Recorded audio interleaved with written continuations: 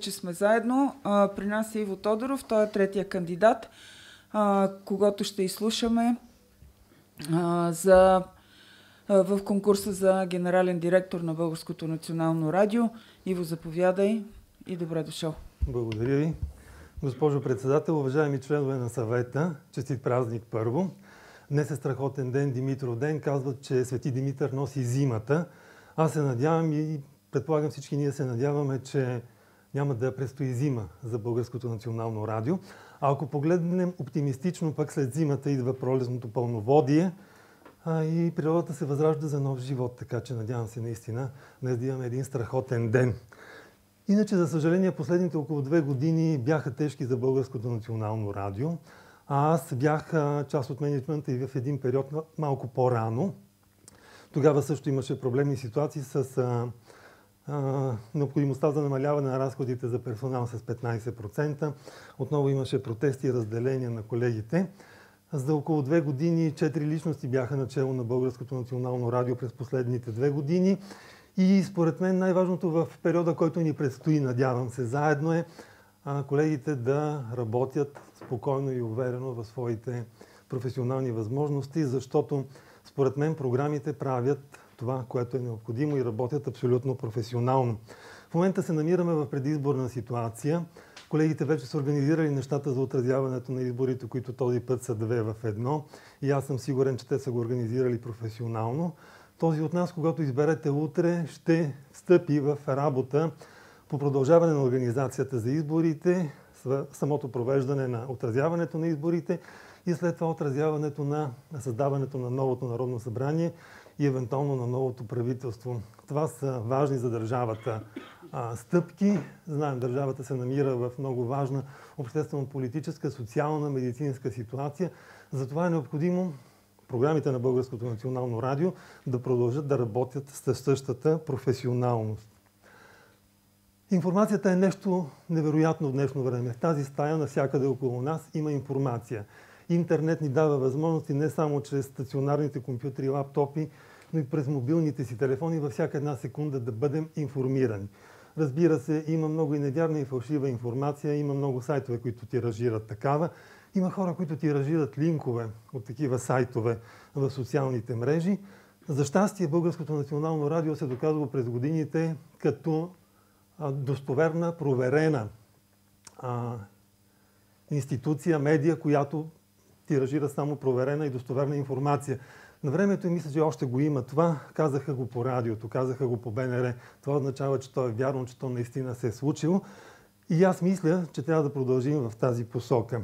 Искам да поздравя колегите от програма Хоризонт и останалите програми за това, че те продължиха въпреки кризите да работят професионално в тази ситуация, да информират обществото и да намират начин, въпреки своите личностни тревоги и грижи за това какво ще се случи утре, кой ще дойде тех, като техен ръководител, да продължават да изпълняват своите ангажименти. Едно голямо предизвикателство за медиите, освен интернет в последните години, е демографската криза в България и в Европа. Аудиторията, за съжаление, на програмите вече застарява. Необходимо е да се обърне поглед на младите хора. Младите хора живеят с телефоните си. Аз самия правя всичко през телефон, мейли, плащания, безконтактни и така нататък. Слушам радио, гледам телевизия през телефона си. На телефоните ни има звукообработващи, видеообработващи програми. Затова трябва да намерим, според мен, начин младите хора да разберат, че съществуваме. Младите хора слушат радио, но трябва да разберат, че програмите на Българското национално радио съществуват и че са интересни за тях. Тук, според мен, има голям ресурс в областта на детските и младежките програми, на архива, който има Българското национално радио от тези детски и младежки програми. И аз последните години си мисля възможностите за създаване на специални апликации, които да позволят, например, понеже децата още от една-две години са с таблети, деца в детските градини да могат да чуят приказка, прочетена от известен наш автор, благодарение на такава апликация. Учениците в началните класове да могат да чуят автора, за когото те учат в часовете по литература и български язик. И мисля, че това може да бъде направено. Нещо, което лично за мен последните години е било болка и по времето, когато аз бях част от менеджмента, че Българското национално радио не инициира, не създава собствени каузи и не подкрепя такива каузи, обществено значими каузи. В подкрепа, например, на българското производство, на, на българската култура, макар че имаме специализирана програма за култура, според мен това трябва да бъде част от а, работата на менеджмента през следващите години, инициирането и подкрепа на значими за обществото каузи. А, аз съм от хората, които мислят, че не започва всичко от теб. Ние всички знаем, че стъпваме на някаква основа. За щастие Българското национално радио съществува 86 години, има страхотни традиции в програмите, в отразяването на информация, в отразяването на културния и обществения живот. Затова според мен през следващите три години за Българското национално радио не е необходима революция. Никой от нас няма да обърне нещата с главата надолу, а и то не е нужно. Важно е всичко да се случва постепенно и с мисъл и съзнание защо се случва. Много важно е стратегическия поглед напред, да знаеш какво ще се случи след две, след три години. За съжаление, ние гледаме, колкото е мандата на един директор, в три години. Но след три години това продължава да съществува. И то ще съществува така, както ти си го заложил. Аз също смятам, че не е работа на генералния директор да управлява програмите и предаванията. Програмите имат директори, съответните структури също имат директори. Много е важно да се даде свобода на програмите, те да могат да работят така, както преценяват, Споменах за работата на, програм... на колегите професионално в условията на криза и за щастие имах възможност да следя отразявания на колегите и в информационната програма Хоризонт и в Христо Ботев и в За щастие се прави това, което аз съм искал и съм желал през годините да се случи, регионалните програми да бъдат обърнати към хората, които живеят в съответните региони. Виждам, че нашата регионална програма Радио София последните месеци има такива изнесени студии и те наистина са в полза на обществото, в полза на хората.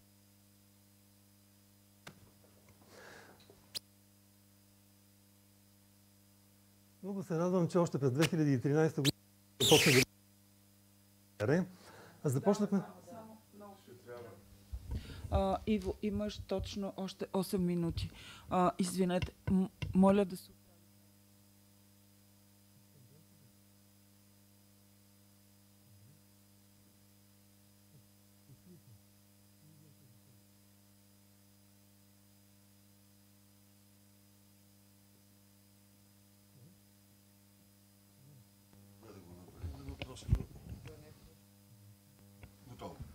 Едно, две, три. А, чудесно. Благодаря. А, през 2013, когато бях програмен директор на Българското национално радио, започнахме да работим в тази посока. Че всички ние сме един отбор, едно семейство, една общност. Тогава за първ път организирахме събития, на които колеги от различни програми от София, от страната се събраха заедно. Видяха се, опознаха се, разсъждаваха за това как ще работят заедно. Тогава аз бях ръководител на 3 европроекта и по тях правихме поредица от срещи, семинари, тимбилдинги, така че да не съществува това разделение между София и страната, между столица и провинцията. всички програми за мен и според мен са равностойни, без значение къде се намират, без значение с каква обществена тежест са и съответно социологически показатели имат в социологическите проучвания. Радвам се, че тогава започна и това, което е много важно за съществуването на общността Българско национално радио между програмната координация и сътрудничество. Много е важно да знаеш какво правят другите, да си информиран и същото време ти да подаваш информация на колегите си какво се случва при теб, така че същевременно да тече един поток на а, информираност и на обмен на информация. А, през годините съм си мислил защо е необходимо, например, когато дойде Райна Кабайванска и Мери Мария Бакалова в София, шест програми да правят интервюта с тях – според мен може да създаде един хъб, информационен хъб на Българското национално радио, където след предварителна координация, изтиковане, получаване на въпроси от всички, които се интересуват, един човек взима това интервю, поставя го в този хъб и всяка програма го използва в съответствие с нейните необходимости, като разбира се интервюто може да е 20 минути и то съответно ще се редуцира а, с дължина каквато е необходима на програмата. През последните години една тема, която аз също коментирам от доста време. А, Сутрешната аудитория. Сутрешната аудитория е много голяма, много е динамична. А през последните години телевизиите, защото аз и в момента работя в телевизионна програма, а, завзеха голяма част от сутрешната радио аудитория, защото знаем дори когато гледаме телевизия, ние слушаме телевизията всъщност като радио в къщи сутрин, когато ставаме, приготвяме се за работа и така нататък. За мен е много важно а, не само да правиш добра програма, но и да се знае за тази програма. В тази посока, според мен, е нужно да се направи много добра реклама, маркетинг, автореклама и популяризиране на съответните програми и на предавания. Не е достатъчно ти в самия себе си да информираш за нещо, което се случва. В тази посока е много важно и крос-програмното съществуване, а крос-програмното рекламиране, което за щастие виждам в момента, че се случва. А по програма Христо Ботев вървят спотове за неща, които се случват в програма Христо Ботев, например. Така аудиторията на едната програма чува за нещо, което ще се случи в другата и може а, да се ориентира, разбира се, ако има интерес, да го следи. Както казах, всичко се случва в живота ни в мобилните телефони. Затова трябва да направим още нещо. А, още през 2013 година бях на един семинар в Прага за съвременното радио и тогава се говореше за това как а, в чешки и в германски медии. Един репортер вече прави три неща. Той е радиорепортер на място, фоторепортер с снимка от събитието и видеорепортер с заснемане на, на картинка от събитието. В днешно време медиите не са нито една в чиз вид. Интернет сайтове публикуват а, звукови файлове като радио, публикуват видеофайлове като телевизия. За щастие виждам, че това се случва и на сайта на Българското национално радио, но трябва да се развие. Миналата седмица ще дам пример от протеста на работодателите и синдикатите. Видях снимка от събитието, направена от репортера, който е на място и това е чудесно. Интернет и социалните мрежи ни дават възможност да общуваме с аудиторията, но можем да търсим още канали за директна комуникация и то директна комуникация в секундата. Да знаеш във всяко едно време, когато ти коментираш нещо или поставяш някакъв въпрос, какво мисли аудиторията и да получаваш обратна връзка. Споменах за някои приложения и апликации, които могат да се разработят във връзка с популяризиране на детски програми, театралните звукозаписи на Българското национално радио. Мисля, че могат да се подобрят и възможностите за живото излъчване. През годините се е работило за това да се закупят нови устройства за звукозапис, да се модернизират студията. Един голям проблем са, разбира се, предавателите, които в голяма част са устарели. Мисля, че колегите имат необходимост и от нова техника, компютри и други звукозаписни устройства за тяхната работа. И мисля, че това е нещо, което може да се направи. Много се говори за пари. В крайна сметка, наистина сиренето е с пари и когато отидем в магазина, трябва да платим за него. Затова отново се радвам, че още от 2013 и 2015 аз поставих въпроса за заплатите в Българското национално радио и той... Само да някак... кажа, че 3 минути останах. Чудесно, аз приключвам. А, той намери някакво развитие тази година с увеличаване на заплатите и консолидиране на хонорарите към а, а, щатното възнаграждение, защото иначе абсолютно беше а, с някакъв дисонанс. Не можеш ти да получаваш щат 500 лева и да получаваш хонорар 1000 лева. Хонорара да надвишава щатното ти възнаграждение. Утре колегите Българското национално радио ще получат заплатите си и с тях ще получат и допълнителното трудово възнаграждение, което тези дни така предизвика вълнения сред тях заради а, новата система за оценка може би сте запознати, тя не е кой знае колко революционна. Ако си взимал 100 лева, ти имаш гарантирани 70%, т.е. 70 лева и 30%, 30 лева ти зависят от оценката. Ти можеш да получиш 30 лева или да получиш 29 или 28 лева към тези 70 лева.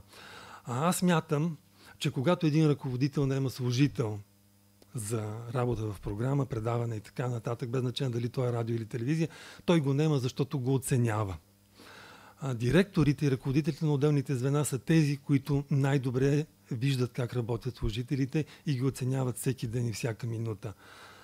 Аз лично не смятам, че колегите трябва да попълват огромни отчети с всяко нещо, което са свършили, за да получат те тази оценка, която да им гарантира 1, 2 или 3 лева повече в това допълнително трудово възнаграждение. Българското национално радио има големи възможности за получаване на допълнителни средства по европейски и национални проекти. Аз като програмен директор ръководих три такива. Подписал съм документи за над милион близо милиони 100 хиляди лева и за мое щастие при всички проверки и одити не е установено никакво нарушение. Дори при проверка на проекта Евранет, Българско национално радио беше единственото радио, участващо в този проект от европейските радиопрограми, без нито една забележка. А, който да стане генерален директор утре, той ще стъпи в ситуация, където май трудно може да се говори да се работи за бюджета на Българското национално радио и неговото увеличаване през следващата година, но тук нататък а, може да се мисли и в тази посока, защото а, бюджета не е само заплатите, бюджета е радио, радиоразпръскването, бюджета е електричеството и всичко останало, което се плаща. Реших да се явя на този конкурс, защото съм преживял много неща. Минал съм по пътя от репортер – до водещ, до продуцент на информационни програми в а, а, радиото и в телевизията. И всичко това ме е научило на много. Бил съм съдебно-криминален репортер във времената, когато всеки ден в София ставаха убийства. А, бил съм заплашен от един от ръководителите на подземния свят тогава и седмици наред се прибирах в къщи, озъртайки се. Бил съм репортер близо сборно месеци наред в Либия, когато беше режима на Кадафи, отразявайки делото срещу българските медици. Летял съм с военен хеликоптер над Нагорни Карабах. Не съм смел, но всичко това, което съм преживял, ме е научило да бъда професионалист в работата си и в отношенията с колегите и с аудиторията. Затова реших да направя тази стъпка. Моята детска мечта беше да стана журналист и тя се случи. Моята детска мечта не е да стана генерален директор и не искам на визитката ми непременно да пише генерален директор, защото, както знаем, нито един кандидат, нито един генерален директор не е по-голям от Българското национално радио. Много ви благодаря. Аз също благодаря. А, Госпожа Еленова, заповядайте. Благодаря, госпожа Жотева. Господин Тодоров, имам основни въпроси, които задавам на всичките кандидати, но и няколко по вашата концепция, която сте ни представили. Ще дам темата за финансите малко по-нататъка. Предполагам, че в концепцията си казвате, че генералният директор ще бъде избран след а, парламентарните избори а, или въобще и президентските. Предполагам, че е някаква печатна грешка, защото сега сме със съзнанието, че утре той ще бъде избран точно две седмици а, баш в средата. Баш в средата ще бъде, ще бъде избран. Така че това беше един от въпросите ми. Съвсем дребно.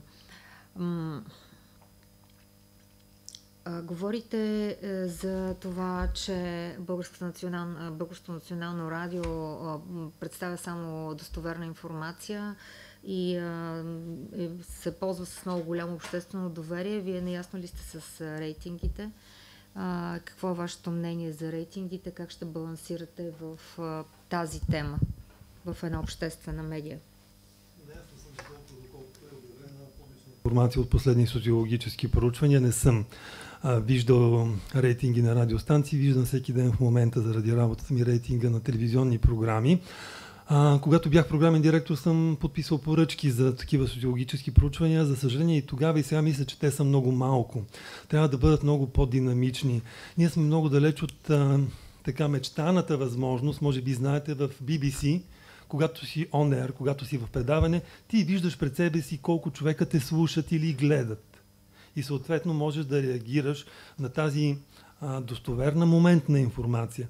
Ние получаваме социологически проучвания на много големи отрязъци от време. Разбира се, а, те, когато ги получиш, не са вече а, едно към едно моментна снимка.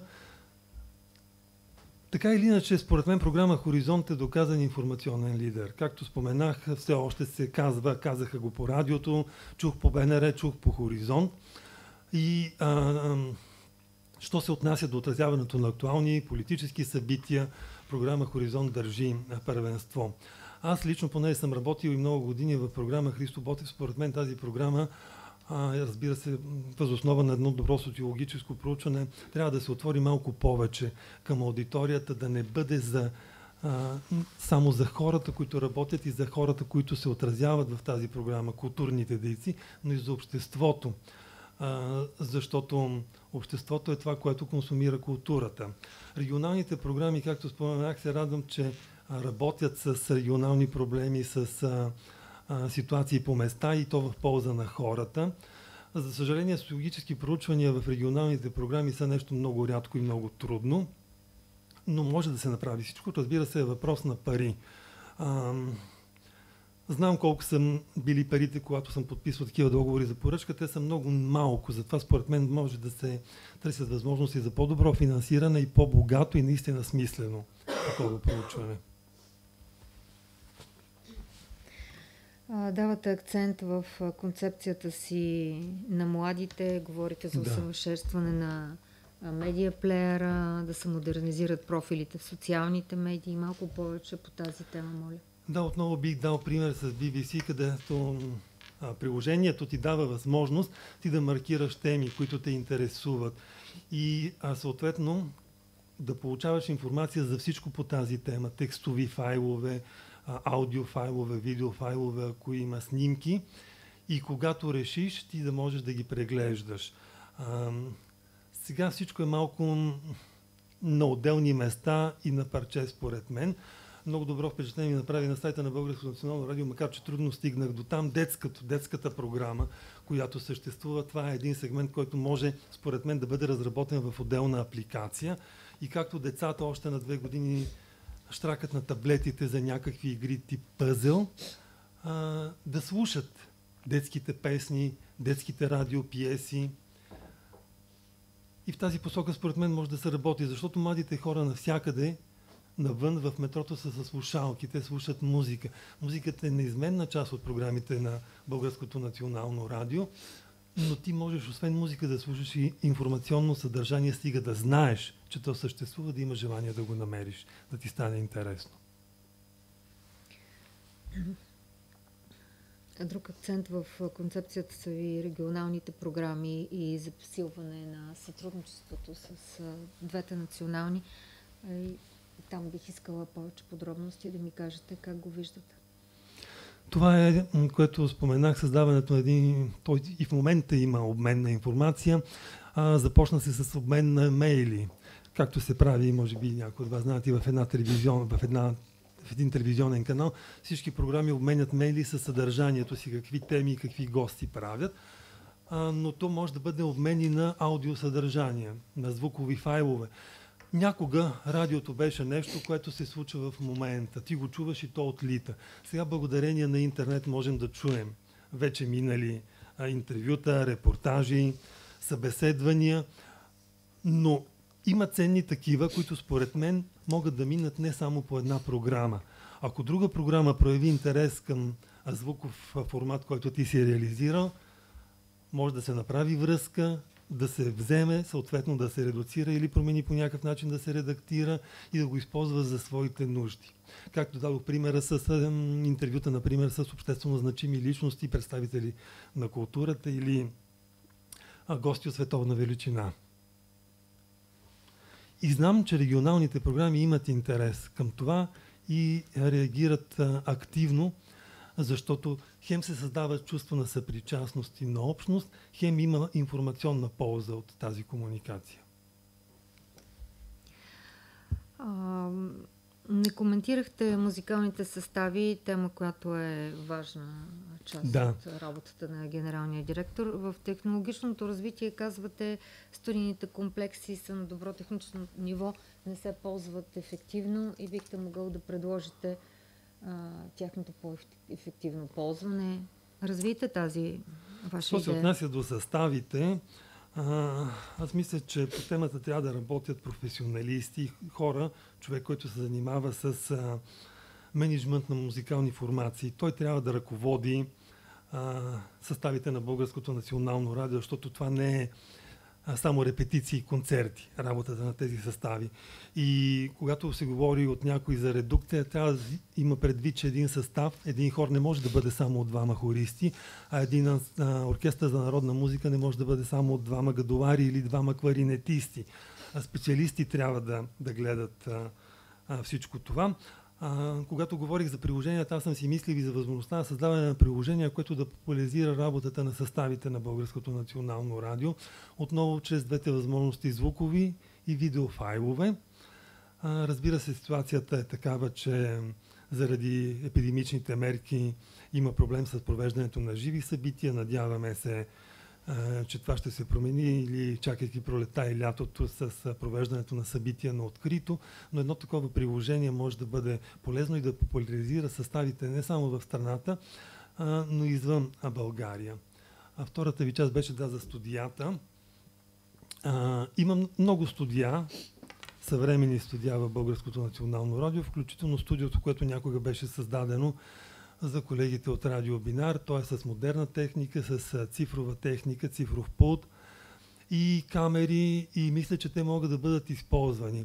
А, както казах, в днешно време нито една медия не е чиста медия в чист вид. Радиото не е само радио, сайтовете не са само сайтове. Мисля, че програмите на Българското национално радио могат да бъдат и телевизия. И това, което беше създадено като радио Бинар през годините се разми заради идеи на различните ръководства или защото един го е създал, пък ние сме ревниви към това, че друг го е създал и го преформатираме.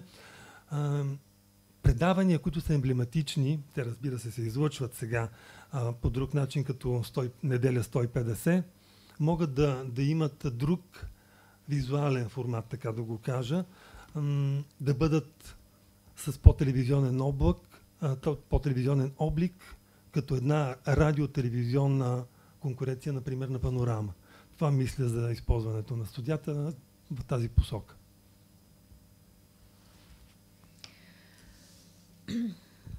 Бих искала да чуя от вас малко повече за финансовата ви политика с оглед нормалното развитие на системата.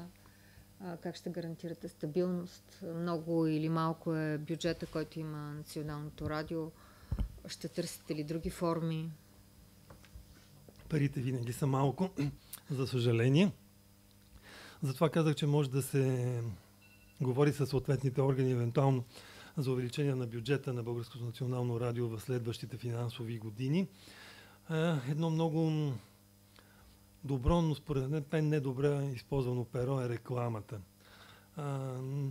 Не трябва да стоиш и да чакаш рекламата да дойде при теб, трябва да бъдеш активен, да намираш реклама. Това са едни постъпления, които могат да бъдат сериозен приход в Българското национално радио. Стана дума и за европейските проекти. Преди години към програмна дирекция съществуваше специално звено, което разработваше е, европейски проекти, за да може да се кандидатства по тях. Неуспешен опит имаше такъв и по така наречената норвежка програма за дигитализация на звуковия архив Българското национално радио. Една тема, която също е много болезнена. Отново ще дам международен пример. Ако не греша, Норвежкото радио а, има пълна дигитализация на звуковия си архив и той е напълно обще, обществено достъпен. А, всеки може да влезе на сайта на радиото и да използва този архив. Това са а, ценни записи, които не бива да стоят в тези влажни помещения. А, що се отнася до заплащането, Заплатите сега са много по-добри в сравнение с преди една година. За съжаление, те не са това, което колегите биха искали и което аз бих си представил. Въпрос на разговор е дали заплатите могат да се увеличат по различни начини. Например, интегриране на това допълнително трудово възнаграждение в заплатата или начина на, на получаването му да бъде подобрен ако аз бъда избран и стъпа в длъжност, разбира се, ще се информирам как са се случили нещата с а, това три месече, след като хората получат парите утре, а, доколко оценката е била обективна или субективна. За съжаление, знаем, че нещата в крайна сметка много често се случват на принципа на симпатия, на приятелството и така нататък. Надявам се тези неща да не влияят на, на оценката на колегите и както казах, според мен добрият ръководител трябва да може с един поглед да направи оценка на човека, без този човек да му пише дълъг отчет за свършената работа. А, може би последен въпрос. А, как ще гарантирате свободата на медията? И каква е, ще бъде вашата форма да предпазите ефира от а, фалшиви новини? А, тенденция, с която аз. Тоест, теза, с вашата теза не съм съвсем съгласна, че Българското национално радио успя да се опази от тази тенденция. А, това е моят въпрос, обединявам ги в един. Аз съм човек, който цени свободата си и свободата на другите. За мое щастие никога не съм оказвал никаква намеса на хората, с които съм работил и над които съм имал някакви ръководни функции. Както казах, според мен не е работа на програмния директор да менежира програмите и предаванията. Затова ти избираш директори, затова директорите избират ръководители на звената, продуценти на програмите, които да преценяват и да носят отговорност. Аз се надявам, ако спечеля този конкурс, че няма аз да получавам обаждания за нещо, което се е случило и се надявам да няма повод за такива обаждания. По-страшната тема според мен е, е само автоцензурата, самоцензурата, защото поставяйки колегите в ситуация на някаква дори имагинерна заплаха, те се замислят за нещата, които правят. Слагат си някакви спирачки. Разбира се, това може да има и обратния ефект. Ескалиране пък, например, на някаква криворазбрана свобода, но това също зависи от ръководителите на отделните звена. Аз мисля си и се надявам, че не бих позволил никаква намеса върху мен. Последен въпрос, защото казвате, че сте със съзнанието, че ще работите с а, управителния съвет, който заварвате, но може би ще направите освежавания. Какво имате предвид и имате ли екип от утре? Да, така се случи, че заради закона третия редовно избран генерален директор ще работи с един управителен съвет, но това е реалността. Аз уважавам колегите и уважавам тяхното мнение. Разбира се, те са професионалисти и който и да е, той ще разчита на тяхната професионална експертиза. Много е важно, както казах, да работи Българското национално радио, колегите, програмите и отделните структури спокойно. А, това означава, че не трябва да мислим кой ще бъде сменен, кой ще бъде новия директор на програма Хоризонт, новия програм, директор на програма Христо Ботев. За мое щастие аз познавам всички, познавам и всички директори на регионални програми без един. Работил съм с тях, познавам директорите на структурите в София, познавам колегите, които работят в тези структури и програми.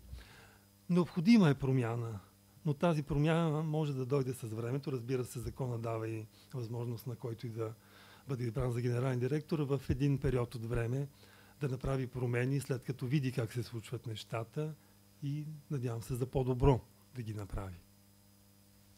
Благодаря, господин Тодоров. И аз ви благодаря много. Аз също благодаря. Госпожо Момчилова, заповядайте. Госпожо председател, господин Тодоров, много се радвам да ви видя. С вас се познаваме от 30 години. Работили сме заедно. Познавам творчеството ви и съм голям почитател. Много сте мила. Ще взема повод, подсетихте ме с, а, така, въвеждайки в а, националния празник днес, че християнския, народния календар, че според него днес е и денят, в който се освобождават ратаите. Аз се надявам да, така, да имаме мъдростта и да изберем точния и добрия стопанин за Българско национално радио. Казахте, че имате страхове че не сте смел човек, т.е. можем да спорим, но а, кой е най-големият ви страх? Кое е опасението ви? С какво най-трудно ще се справите? За радиото ли? А и в личен план бихте могли да споделите. Знам, че ако бъда избран, ще бъда много ангажиран. Но от друга страна, мои приятели ми казваха, представяш ли какво ти предстои. Аз обаче мисля, че съм човек, който може да си организира така работата, че да работиш и да почиваш. И както казах, когато делегираш правомощи и отговорности на хората, които са по теб, ти ще имаш свободно време. За страхове, аз се надявам, че колегите биха посрещнали евентуално а, моето стъпане в длъжност с доверие. А, през последния месец видях това доверие по различни начини. За мое щастие, много хора от програмите от София и от регионалните програми ми писаха, в момента дори ми пишат и с нощи, или открито, или и на лични съобщения поради някакви лични съображения техни, с думи за подкрепа. Срещнах много хора по улицата, познати и непознати, наистина непознати хора, които в големи търговски вериги ме спираха да ме поздравят за това, че съм направил тази стъпка и съм се кандидатирал. Това за мен е голямо удовлетворение. А за мен е удовлетворение оценката, която колегите са ми дали, защото аз от а, 6 години не съм част от програмите на Българското национално радио, не съм част от менеджмента. И тези хора, надявам се, с добра дума си спомнят за мен.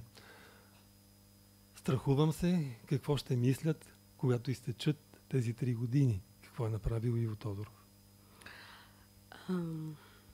Вие сте безспорно и това е известно в гилдията, а, диалогичен и консенсусен човек, но в същото време сте и деликатен, чеховска направа, както се казва човек. И вероятно се питат колегите, а и аз съм любопитна, тогава, когато се наложи твърда ръка, как ще действате? Моите приятели знаят, аз наистина съм много комуникативен и диалогичен човек и когато правя нещо, включително решението да се кандидатирам в този конкурс, питам много хора, питам мои приятели. И те знаят, че аз питам, събирам мнения, но накрая решавам аз. И, и въпреки, че имаше думи, с които се опитаха да ме спрат, да не го направят, да ми кажат, ти представяш ли си какво ще ти се случи, ако бъдеш избран, аз взех решението. Мисля, че аз имам кораж и смелостта да взимам финалното решение, когато е необходимо. Вие се явявате за трети път, ако не греша, така е. на този конкурс. Прави ми впечатление, тъй като съм следила участието ви през годините, че концепцията ви еволюира, ще използвам вашия термин, от доста пространна до доста синтезирана, бих казал, един екстракт ни предложихте този път. Твърде лаконичен, твърде телеграфен. А, така, защо... А, така, знам, че чувството ви за хумор е налично. Очаквам с афоризъм да се появите, евентуално следващия път. Шегувам се, разбира се, но а, как си обяснявате спада на интерес към длъжността директор на Националното радио от една страна? Виждате колко, до какво число се редуцира тя през годините и защо предпочетохте да ни поднесете а, толкова лапидарен вид вижданията си, така идеите си за управление? Много ви благодаря за този въпрос. Мислих да го кажа накрая, но съм решил това да бъде моето последно явяване на такъв конкурс, защото не искам да се превръщам в вечната амбър, да ви отговоря с шега. А, когато се явих за първ път през 2013 година, знаех много неща за работата, но не знаех почти нищо за управлението на радиото и на програмите. А, мисля, че сега се научих на много. От друга страна, вие знаете, че аз като репортер и друг път съм го казвал, мисля, че всяко нещо може да бъде казано с едно изречение. Аз и като автор, понеже вие споменахте, харесвам късите разкази, да. късите стихове, късите форми. Добър сте Затова реших да предложа нещо късо, защото а, нещата на хартия според мен няма значение. Има значение човек какво е правил, а, с какво име е в обществото и с какво име е сред колегите си, а не какво е написал. От друга страна, както казах, а, а, аз не идвам с революционни намерения. Не мисля, че трябва да обърнем тази маса с краката нагоре, да започнем да слагаме нови мебели и дивани тук, а трябва да стъпим на този опит. И аз съм се научил през годините да стъпвам на опита на тези, които са били преди мен. И няма да бъда със сентенция следващия път, защото няма да се явявам следващ път. Добре. Макар че казва, че никога не казва и никога. И аз това ви съветвам. Добре, значи в първата ви концепция застъпвате а, така идеята за а, повече а, развлекателен ентертеймент елемент, за повече шоу елемент, като че в годините изоставихте това си намерение. Докато тук ви виждаме твърде сериозен. Ами, вижте, за щастие нещата се случват без да ги а, пресираш ти. Когато започнах да водя сутрешния блок на програма Христо Ботов, той се казваше Добър ден тогава. и беше много сериозен и тематичен. Аз водих петъчните издания за международна политика. Тогава ме поканиха заради работата ми по край делото в Либия да водя тези издания за международна политика. Не знам дали не съм включил и госпожа Жотева от някъде тогава. И това беше много сериозно. Обаче аз, знаете, идвам от Радио Експрес, идвам от други частни радиостанции, които вече не съществуват. Водех по друг начин, водих динамично и те ми казаха, ама как е възможно ти по програма Христо Бодев да водиш като по частна радиостанция. Сега, ако си пуснете програма Христо От Брюксел. Моля? Мисля, че от Брюксел сме си говорили. Да, от Брюксел. Сега, ако си пуснете програма Христо Ботев, ще видите другото звучене. Това динамично звучене, което някога беше а, анатема за Българското национално радио, за консервативните програми, където трябва да говориш бавно, напоително и много интелигентно. Може да го правиш и по друг начин. Така. А, наслушахме се много за дики, дигитализация, цифровизация, модернизация на радиото. А, неодавна съдружникът на Стив Джобс, може би най-дигиталният човек, Гай Кавазаки, каза на един форум за комуникационни експерти, че идва времето на аналоговите подходи и хора.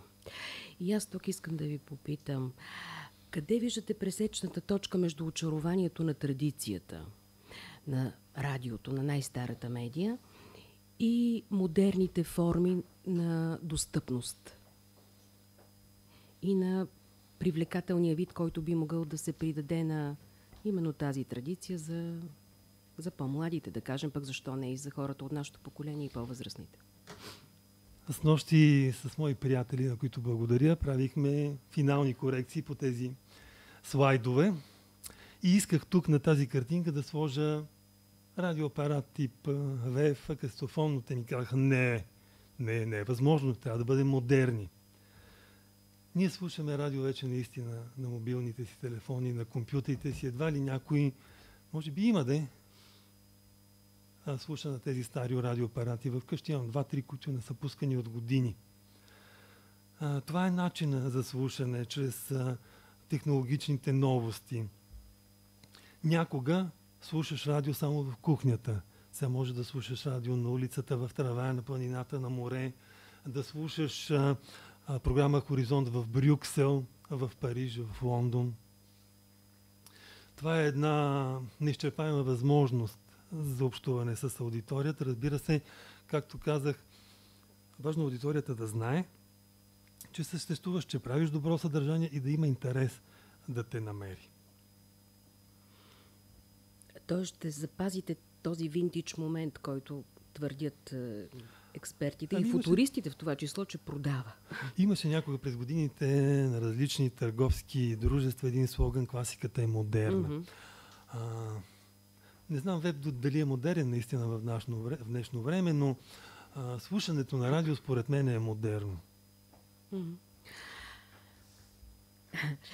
Старата къща, както наричаме всички радиото, е един голям организъм с доста болешки, някои хронифицирали. Стана модерна и тази здравна лексика сега. Как ще, каква ще е терапевти, терапевтичната роля на радиото в тези COVID времена оттам да започнем, а после ще минем и така по-в интраспективно в проблемите на радиото. Имате предвид в медицински аспект? В момента да, напрегнато обществото, разболя се от страх. Да. Как би следвало да се държи Ами трябва да бъдем смели. медия? Когато дойде пандемията и първия локдаун, работех в друго телевизионно предаване, където за щастие тогава менеджмента на нова телевизия един от първите предприе това решение да раздели екипите, предаванията на екипи, една седмица да си хом офис, една седмица да си на ефир. Аз бях редактор една седмица, една седмица си бях в къщи. Много мои приятели се изплашиха. Аз, понеже имам куче, имах възможност да излизам. Не се заседях да ям пуканки и да, да гледам филми в къщи. Аз започнах през приложение да уча немски. Уча го и до снощи. Днеска не съм го пуснал. А, да имам предвид, че човек, когато е активен и когато иска да прави нещо, може да намери какво да прави. А що се отнася до информираността, мисля, че друг път е ставало дума, много важна е дозата и преценката за това а, каква информация поднасяш. Разбира се, за съжаление, заради неизвестността и страха от тази неизвестност, в обществото и в медиите през последните месеци се изостри още повече това противопоставяне между осъзнатото и разума за пандемията и абсолютното изключване и конспирацията, необходимостта от вакциниране и пълното отричане на ваксините. Аз бях един от първите в България, който се вакцинира благодарение отново на колегите от нова телевизия, които бяха организирали в самата телевизия вакцина.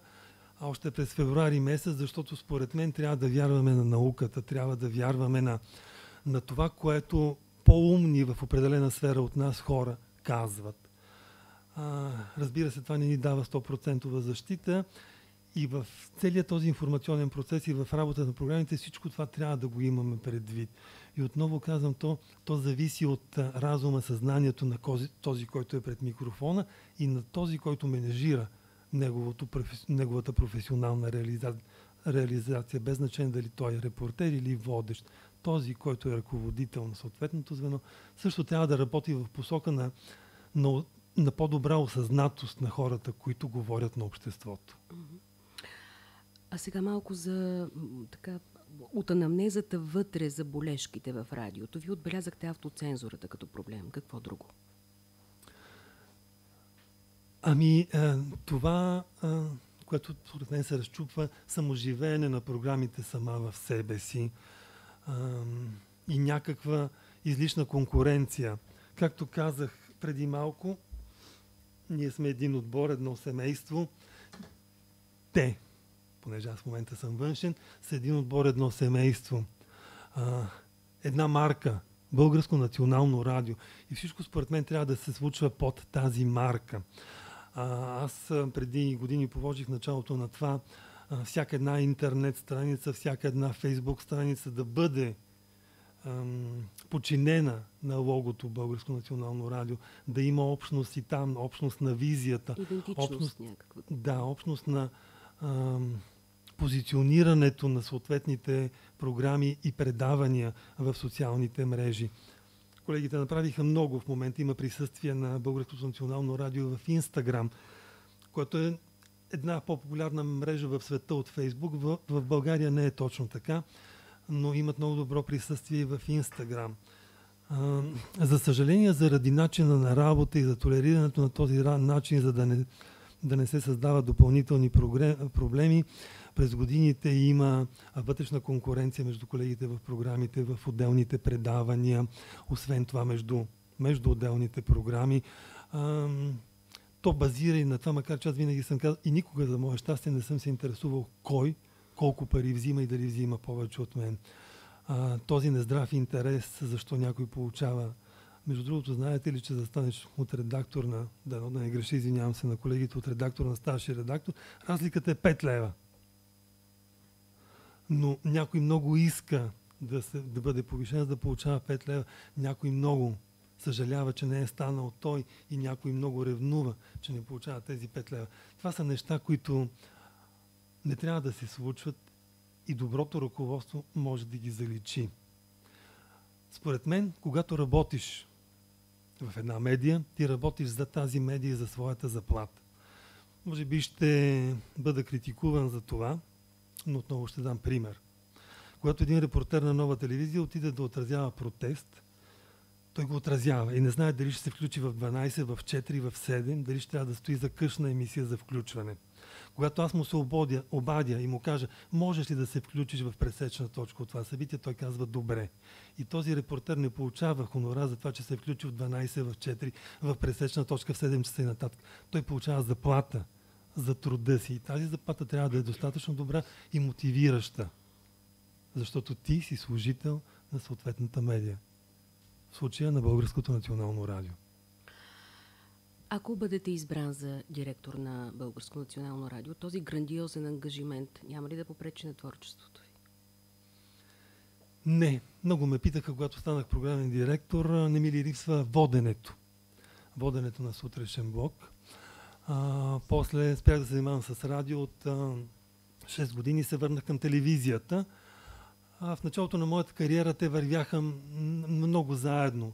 Знаете, че работих в Радио Експрес и правех а, в Българската национална телевизия с Вяра Анкова и Смилен Цветков и с Бетина и Стату екип Уикенд, съботно-неделните новини. Аз там започнах като репортер и благодарение на това, че работих събота и неделя, можех да работя в радиото пък през другите дни. Само извинявай, Соня, извинявай. Спомняш ли си Куко, като излезаха с а, Козлодойския Кое? Куко, когато излязаха е, с козлодойския да. проблем. Да. Ето, имаш още един тук член на съвета, който може подробно да ти разкаже да, за екип сме уикенд. Работили, да. Ние Соня е била тогава, аз вече не бях в Куко. А, всъщност, така започна моя професионален живот. Аз се явих на конкурс за Куко. Това първо беше първото ми явяване на конкурс. Тогава се явиха стотици кандидати, беше много силен конкурс на три етапа, те за интелигентно СС и после събеседване. Mm-hmm. И аз минах и трите етапа и бяхме избрани 14 човека. А, това ми даде възможност да, да получа кораж да се явявам на конкурси.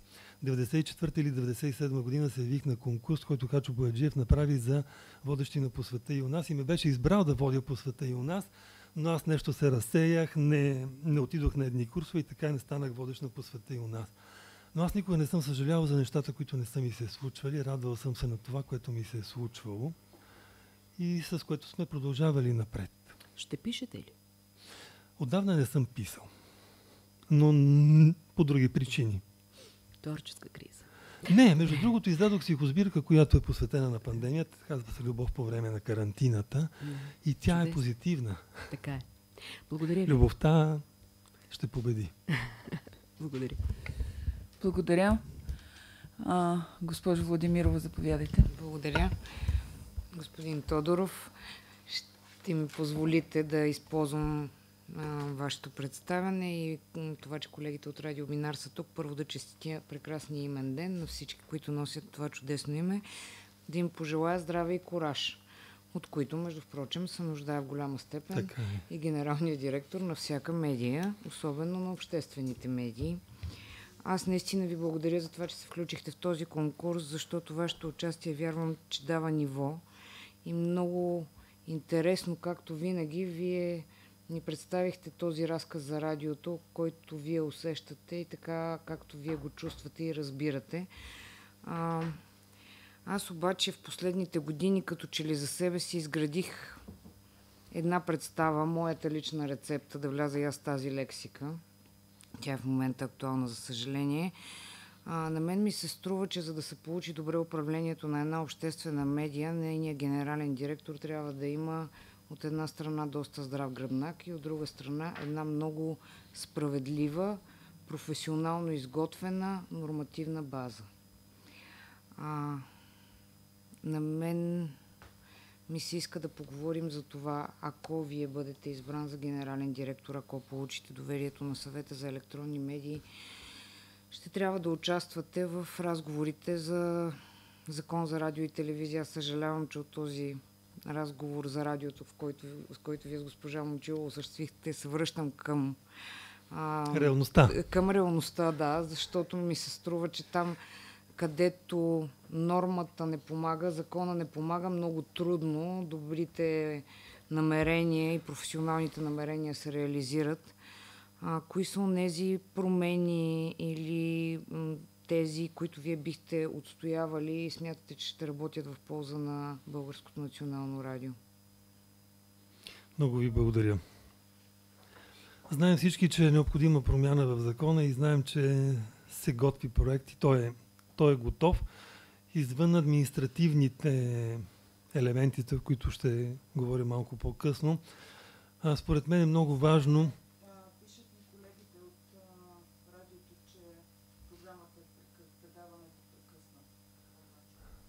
Картината или звука?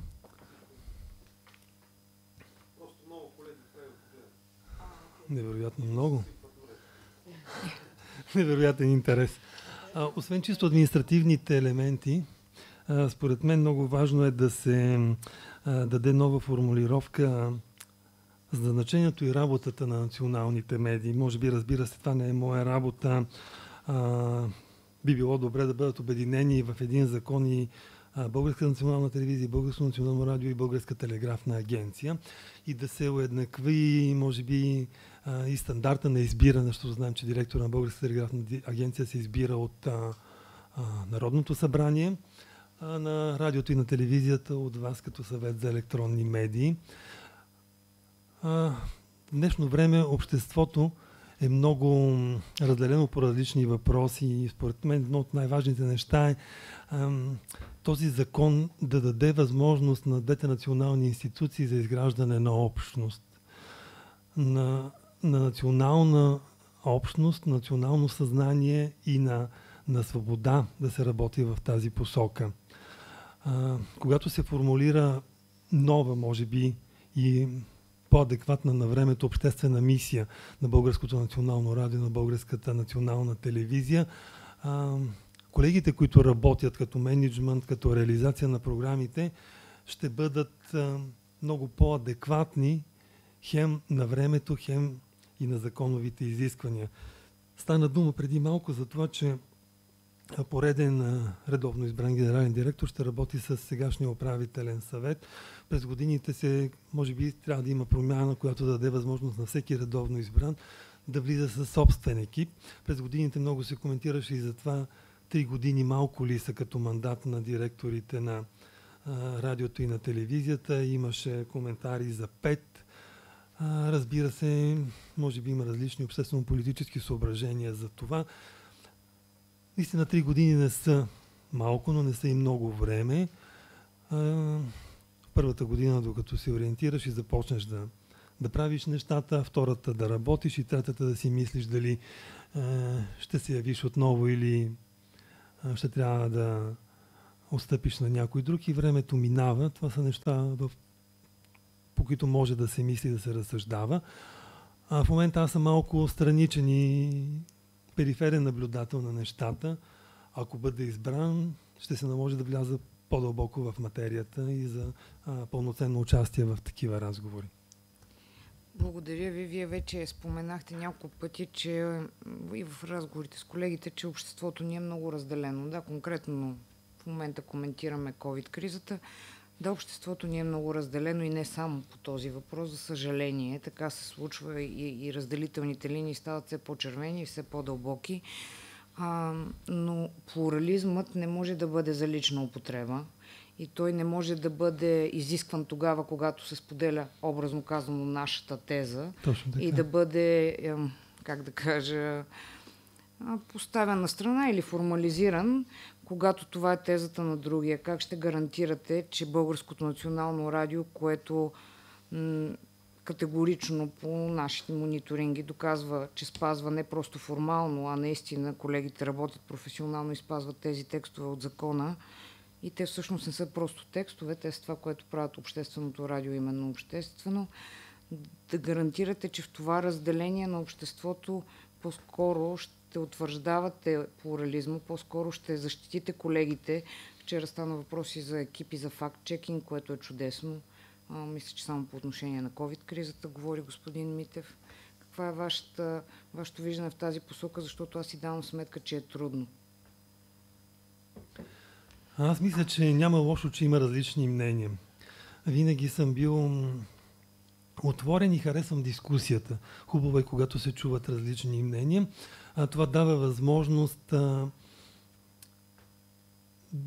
да получиш и да вземеш от другото мнение доброто и да се опиташ да аргументираш и да убедиш другия в своята позиция. А, чуването на различни мнения, плурализма, изразяването на различни мнения е нещо, което трябва да устояваме и да бъде неизменна част от едно демократично общество.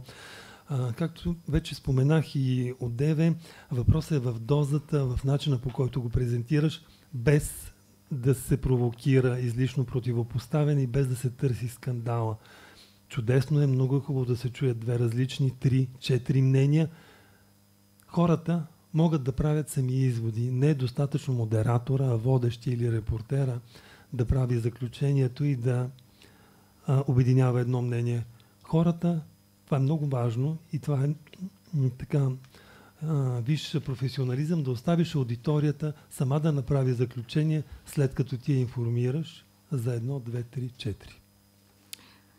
Да, да, благодаря ви за отговор. Аз също не смятам, че работа на генералния директор е конкретно да определя програмните а, политики и, как да кажа, теми и гости да. на а, категорично. Аз смятам, че в изключителни професионалисти работят в БНР и то е доказано през годините. Няма да ви задавам моя въпрос, свързан с детските и младежки предавания, защото вие засегнахте тази тема.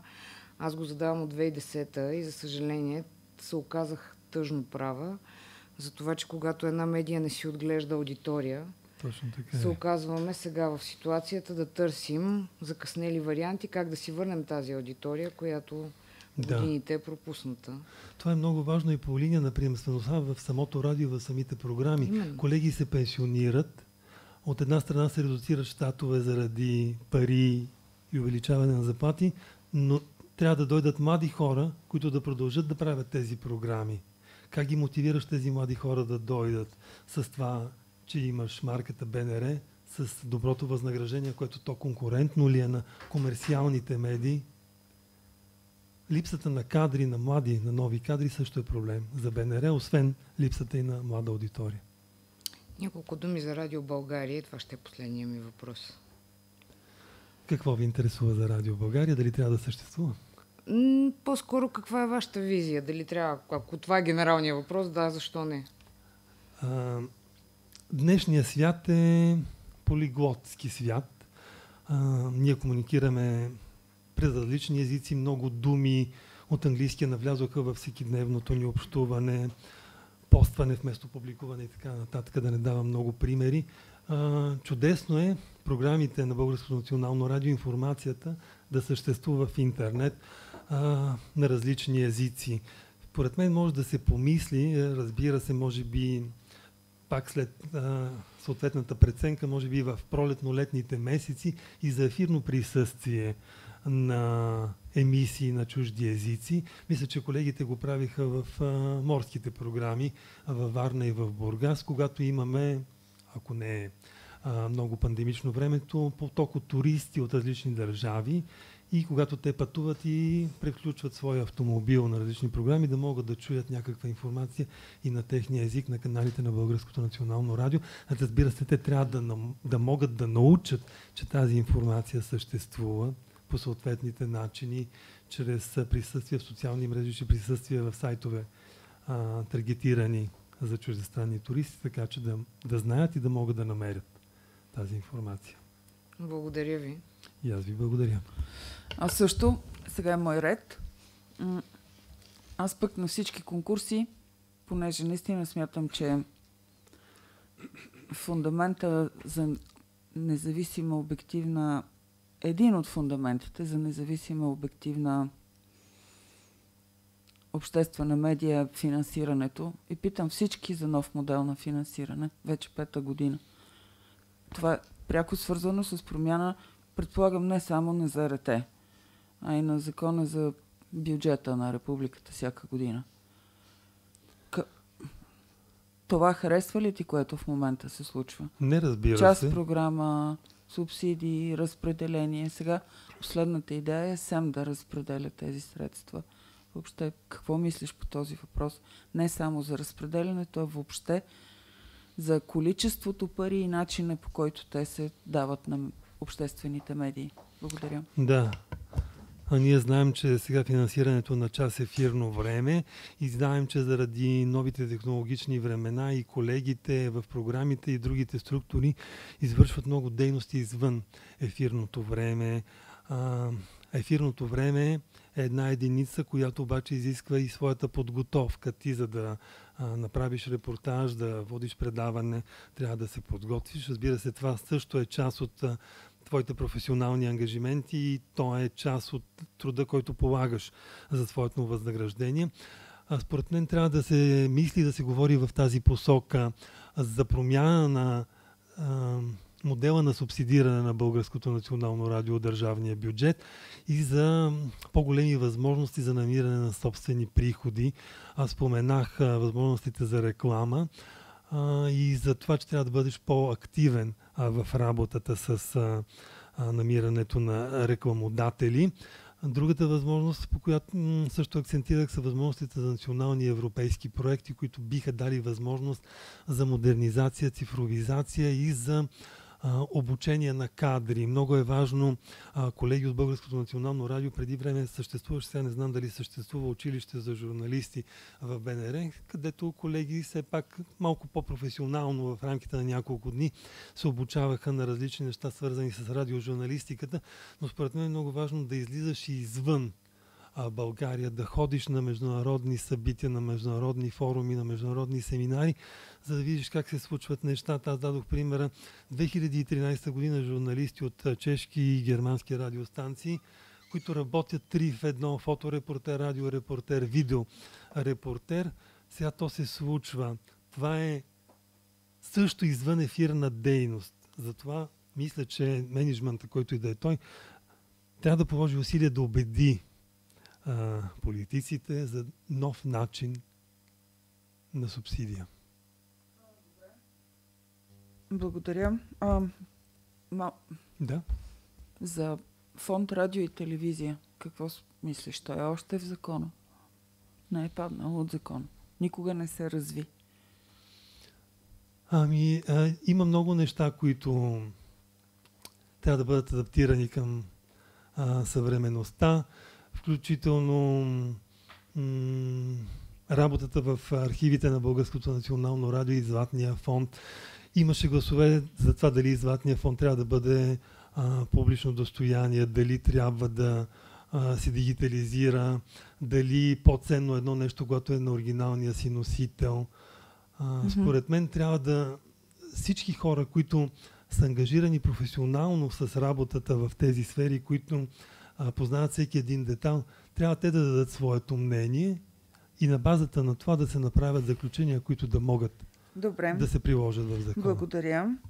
А, втория ми въпрос е, а, ти заяви в началото на твоето експозе, а, че не е самоцел да станеш генерален директор на БНР. А, все пак ти си радио, ти си човек на електронните медии. Да. А, би ли се върнал в БНР като нещо друго, а не като генерален директор, например? А, Би ли работил нещо друго в радиото? Защо, защото сега работиш в телевизия, нали, с много висок рейтинг и с а, доб- добра позиция. Би, би ли сменил, би ли се върнал в радиото? За мен нищо не е на всяка цена, включително явяването на този конкурс. Човек трябва да прави усилия, да се опита да ги подплати и да, да продължава напред. А, не ми е самоцел и връщането в радиото под каквато и да е форма. А, никога не бих а, приял като стъпка назад, например, да стана радиоводещ отново, да водя сутрешен влог или някаква друга програма, да се занимавам с някаква друга длъжност. Но разбира се, всичко това трябва да бъде а, да има смисъл, а не да го правя само защото е връщане към едни добри времена. Според мен трябва да вървим напред. А, никога не съм се срамувал от това да бъда репортер, да бъда а, водещ. А, мисля, че няма а, нещо, което човек, с което човек изкарва заплатата си, с което изкарва труда си, което да, да е проблем. А, не съм мислил за такива неща, но човек не знае. Бъдещето поднася изненади. Кой да избира генералния директор на обществените медии? Регулатор или парламент? Според мен регулатор, защото регулатора има много по синтезиран поглед върху нещата. А, един парламент а, се състои първо от много повече хора. Разбира се, има съответни професионални комисии, но, но вие или членовете на един такъв съвет имате по-директен поглед върху това, което се случва в медийното пространство, според мен. Благодаря. Моля. Имаш ли зелен сертификат? Да. В Google Drive ми е дори, за да мога да го вадя навсякъде. Участваш ли във фирма? Не, излязох през 2013 година. Водят ли се дела срещу теб? Не. Менеджер или творец? С една дума. Ами според мен а, С една дума. Менеджер или творец? Новатор. Радио или телевизия? С една дума. Да. Радио-телевизионно излъчване. Добре. С микрофон или редактор? Микрофон.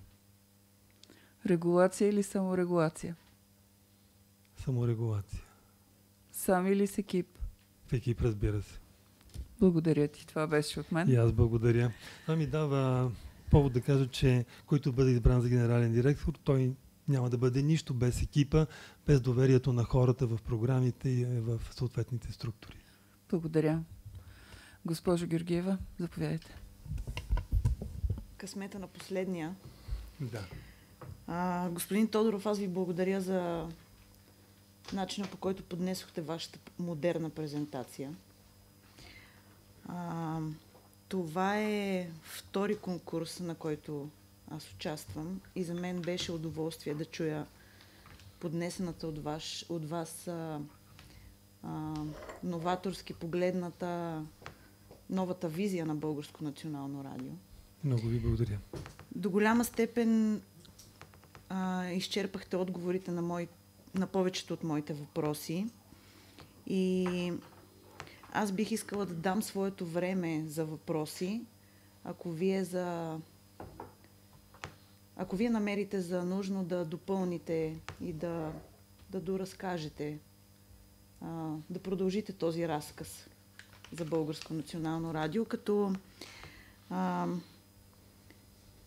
дадете малко по-широк поглед на тази мултиплатформеност, която споделихте на няколко пъти и вашата формула за мотивацията на младите хора и бъдещите такива в, в БНР.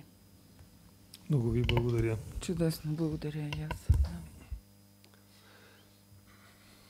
Когато се събудим, си поглеждаме телефона, не само за да видим колко е часа и кой ни е писал на месенджера, какво се е случило в информационните сайтове. Извинявам се.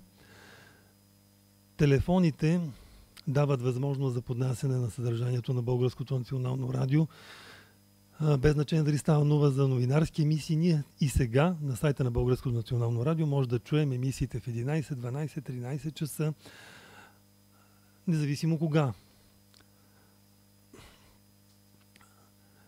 Много се радвам, че колегите подхождат вече иновативно. От няколко седмици, когато се явих, когато подадох последния момент документи за този конкурс, се абонирах в Viber за групата подкаст БНР. Това също е страхотно. БНР наистина влиза във всички платформи, в а, всички тип социални мрежи, а както споменах, Instagram, Twitter, а, Facebook, в Viber групата. Там се поднася селектирано съдържание, което хората знаят какво е и знаят, че могат да го намерят там. Но според мен всички тези неща могат да си комуникират и да препращат от едно към друго, да се създаде нов мултиплеер на програмите на Българското национално радио и да се създаде, според мен аз винаги радиото и телевизията са били а, в мен и не мога да си представя звук без картина и картина без звук, да създаде възможност за още по-голяма визуализация на радиото, на случващото се в радиото и на, на нещата, които, за които разказва радиото. Включително едно интервю а, с а, автор на роман, с а, световно известен музикант и така нататък. Ние бихме могли да го чуем и видим и с звуки, с картина. Младите хора слушат радио и слушат не само музика. Аз а, благодарение на работата ми съм общувал през годините, общувам с много млади хора. И е чудесно, когато в екипът има млади хора.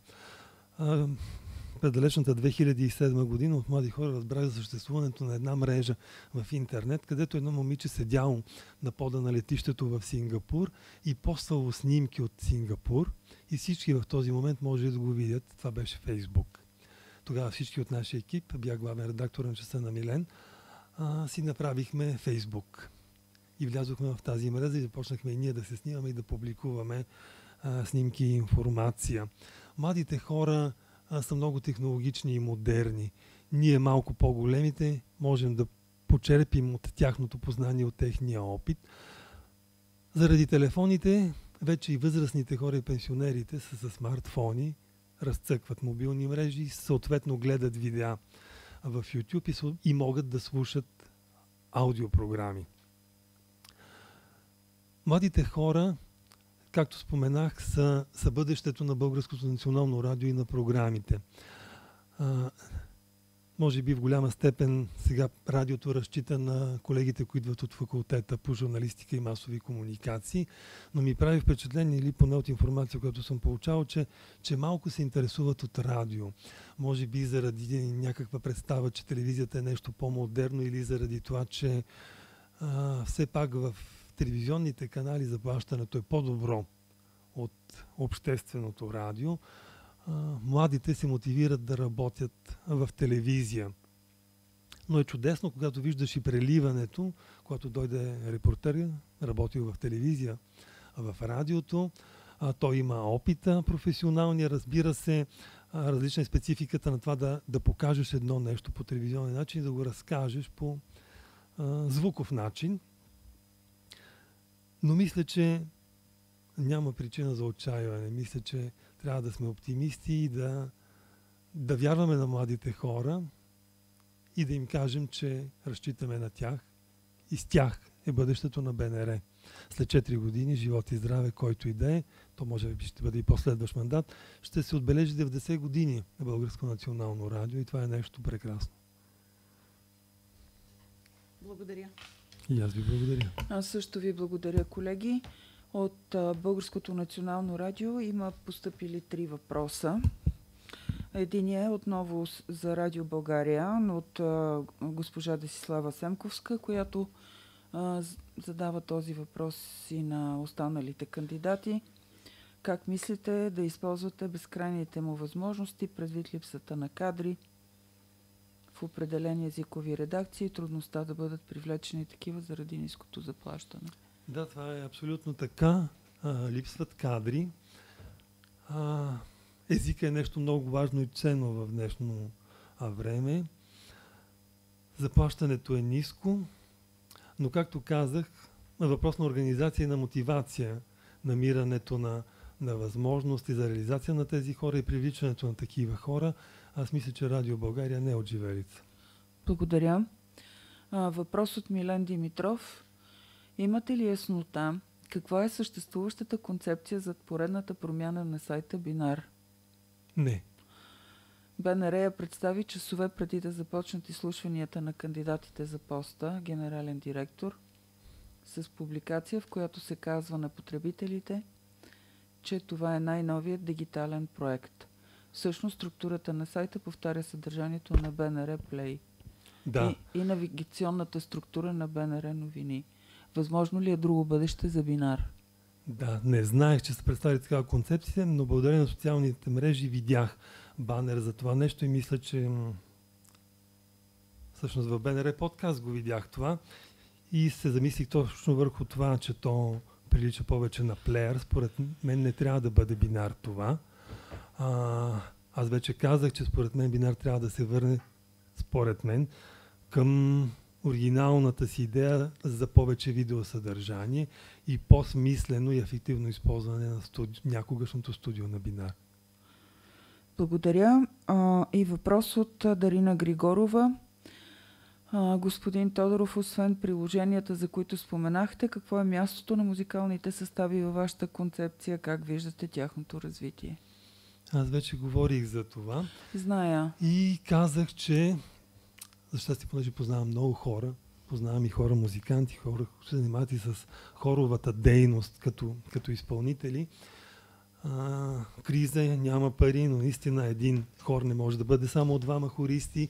Има експерти, има диригенти, които могат да преценят колко хористи са необходими за изявата на тази формация, колко музиканти са необходими за изявата на Оркестъра за народна музика. А, и поздравявам Димитър Христов и хората, с които работи за това, което те правят.